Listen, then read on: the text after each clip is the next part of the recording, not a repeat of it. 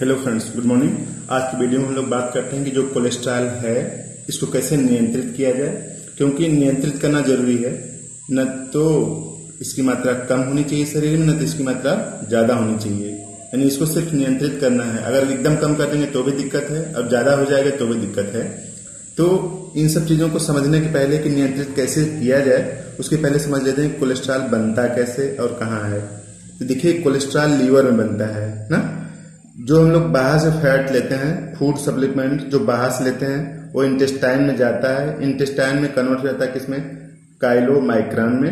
यही काइलोमाइक्रान जब लीवर में पहुँचता है तो कन्वर्ट हो जाता है किसमें? ट्राइग्लिसराइड्स में या फिर कोलेस्ट्रॉल में, ना?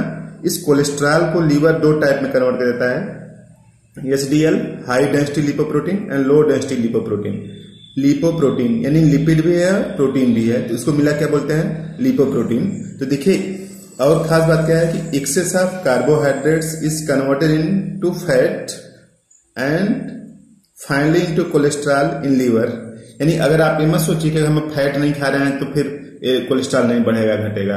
अगर आप एक्सेस ऑफ़ कार्बोहाइड्रेट अधिक मात्रा में कार्बोहाइड्रेट खा रहे हैं तो भी वो लीवर कन्वर्ट कर देता है किसमें? फैट में। फैट में कन्वर्ट कर देने के बाद फिर क्या बना लेता है? कोलेस्ट्रॉल बना लेता है। हाई डेंसिटी लिपोप्रोटीन और लो डेंसिटी लिपोप्रोटीन तो ये देखिए जो लो डेंसिटी लिपोप्रोटीन है ना लो डेंसिटी लिपोप्रोटीन को बैड कोलेस्ट्रॉल बोलते हैं। इसकी मात्रा शरीर में 130 मिलीग्राम पर हंड्रेड एम से कम होनी चाहिए। किसकी? बैड कोलेस्ट्रॉल की। अब एस को क्या बोलते हैं? गुड कोलेस्ट्रॉल बोलते हैं। जो एस है हाई डेंसिटी लिपोप्रोटीन है, उसको आप क्या बोलते हैं? गुड कोलेस्ट्रॉल तो देखिए एस गुड कोलेस्ट्रॉल है। इसका लेवल मेल में क्या है? चालीस से पचास मिलीग्राम पर हंड्रेड एम है। और फीमेल में और ज़्यादा है। पचास से साठ मिलीग्राम पर हंड्रेड एम यानी फीमेल ज़्यादा लकी है। इनको हर डिज़ीज़ कम होगी, क्योंकि जो हाई डेंसिटी लिपोप्रोटीन जिसको गुड कोलेस्ट्रॉल बोलते हैं फीमेल में ज़्यादा है। देखिए पचास से साठ। So female are more lucky as compared to male for cholesterol related diseases इसलिए फीमेल में नहीं होती। लोग बोलते हैं ना कि महिलाओं में हार्ट संबंधी बीमारियाँ कम होती हैं। पुरुषों में ज़्यादा होती हैं। पुरुषों में ज़्यादा होने के पीछे रीजन यही है कि इसमें जो हाई डेंसिटी लिपोप्रोटीन का लेवल है, पुरुषों में क्या है? कम है। और लो डेंसिटी लिपोप्रोटीन जो इसको आप बैड कोलेस्ट्रॉल बोलते हैं तो वो दोनों में बराबर है। अब देखिए, है क्या कि fat are insoluble in blood so transported with protein fat जो है इनसालबल ब्लड में इनसालबल होता है, इसलिए जो ही ट्रांसपोर्ट होता है किसके साथ? प्रोटीन के साथ इसको बोलते हैं लिपोप्रोटीन ना? अब एस डी एल का क्या करता है? हाई डेंसिटी लिपोप्रोटीन क्या करता है? Remove bad cholesterol from blood जो लो डेंसिटी लिपोप्रोटीन है, जिसको आप बैड कोलेस्ट्रॉल बोल रहे हैं ना इसको रिमूव करता है कौन? एस तो S remove bad cholesterol from blood अब देखिए कोलेस्ट्रॉल अगर अधिक हो जाए तो नुकसान क्या है? तो ये देखिए नॉर्मल आर्टरी है जिसमें ब्लड फ्लो करता है नॉर्मल आर्टरी है। अगर कोलेस्ट्रॉल अधिक हो जाए तो, तो दो टाइप्स अधिक हो सकती है। एक बोलते हैं एथेरोस्क्लेरोसिस आर्टरी का ब्यास कम हो जाता है। देखिए यहाँ पे ब्यास इतना है पूरा। आर्टरी का पूरा ब्यास है। यहाँ पे ब्यास ये कोलेस्ट्रॉल डिपोजिट हो गया है। ये जो डिपोजिट दिख रहा है सब क्या है? कोलेस्ट्रॉल। तो कोलेस्ट्रॉल डिपोजिट हो जाने की वजह से आर्टरी का ब्यास क्या हो जाता है? कम। जब ब्यास कम हो जाएगा तो ब्लड सप्लाई करने के लिए हार्ट को क्या करना पड़ेगा? ज़्यादा प्रेशर लगाना पड़ेगा। और दूसरा है, देखिए, आर्टेरियोस्क्लेरोसिस। आर्टेरियोस्क्लेरोसिस में जो आर्टरी की वाल होती है वो कठोर हो जाती है।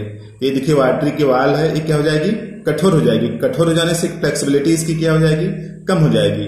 अगर इसकी फ्लेक्सिबिलिटी कम हो जाएगी तो ब्लड फ्लो करते समय जो इसका डायमीटर सेल्फ रेगुलेटेड होता है कमी बढ़ जाता है कमी कम हो जाता है तो इसकी जो सेल्फ रेगुलेटेड मैकेनिज्म वो क्या हो जाएगी? डिस्टर्ब हो जाएगी। उस वजह से दिक्कत क्रिएट हो जाती है। तो देखिए, अधिक कोलेस्ट्रॉल होने की वजह से एक है एथेरोस्क्लोरोसिस और दूसरा क्या है? आर्टेरियोस्क्लोरोसिस आर्टेरियोस्क्लोरोसिस में आर्टरी की वाल कठोर हो जाती है और एथेरोस्क्लोरोसिस में आर्टरी का ब्यास कम हो जाता है। ना? अब देखिए, कोलेस्ट्रॉल का शरीर में कार्य क्या है? कोलेस्ट्रॉल का शरीर में कार्य क्या है? कोलेस्ट्रॉल शरीर में प्रोजेस्ट्रॉन ग्लूकोकार्टिकॉइड एंड्रोजन्स तथा एस्ट्रोजन्स नामक हार्मोन बनाता है। यानी कोलेस्ट्रॉल बहुत काम की चीज़ है, हार्मोन बनाता है बॉडी के लिए। अब कोलेस्ट्रॉल को नियंत्रित कैसे करें? नियंत्रित करने का सीधा तरीका है, कुछ लाइफ स्टाइल में चेंज लाना पड़ेगा।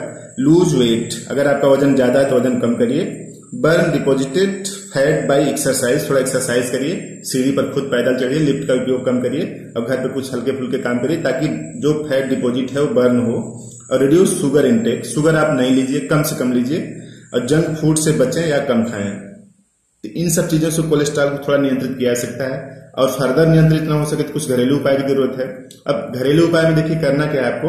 कि दो कली कच्चा लहसुन सुबह खाली पेट पानी के साथ निकल जाए, यह बैड कोलेस्ट्रॉल को घोलकर बाहर निकालता है। जो लहसुन है उसमें बैड कोलेस्ट्रॉल यानी एस होता है, वो एलडीएल को बाहर निकालता है।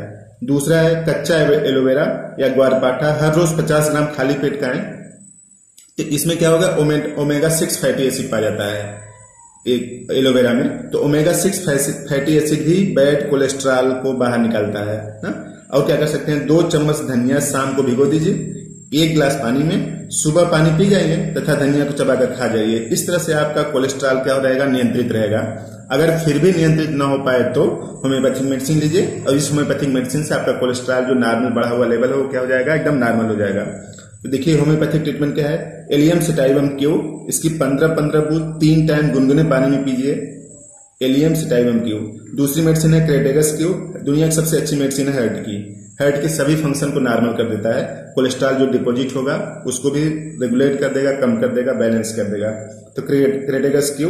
दस दस बूंद तीन टाइम गुनगुने पानी में पीजिए।